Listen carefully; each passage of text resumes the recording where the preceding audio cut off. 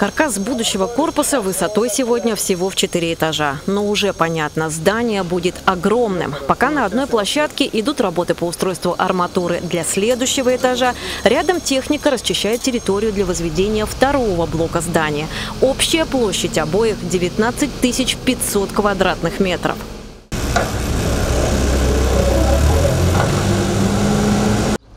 Шесть отделений, включая онкологию, урологию, хирургию, 15 операционных и реанимация на 15 коек расположится в новом корпусе. А на первом этаже, кроме приемного покоя, разместится травмпункт. Он будет принимать всех травмированных детей Барнаула, независимо от места прописки. В целом, хирургический корпус Центра охраны материнства и детства рассчитан на 650 коек для лечения юных пациентов со всех уголков края. На экстренные случаи предусмотрена противошоковая палата палата, первая для детей в регионе.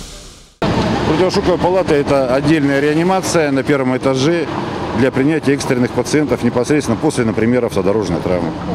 На данный момент мы и ребятишек поднимаем непосредственно к нам на шестой этаж, если произошел критический какой-то случай. Медики заверяют, проблем с оснащением корпуса нет. Все необходимое диагностическое и функциональное оборудование закупают.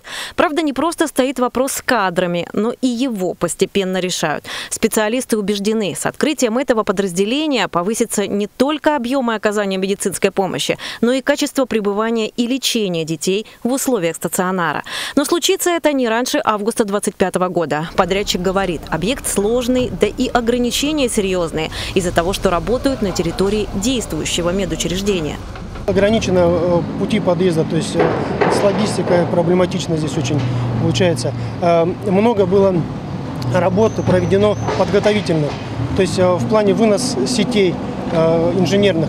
Если бы, конечно, была возможность, можно было бы ускориться и работать, получается, в две смены. Но в связи с тем, что получается учреждение действующее, то есть мамы с детьми маленькими сидят, к сожалению, этого нельзя сделать. Добавим, общая стоимость строительства около 3 миллиардов рублей. Объект возводится по региональной и федеральной программам развития здравоохранения. Елена Макаренко, Владислав Ковалев. День с толком.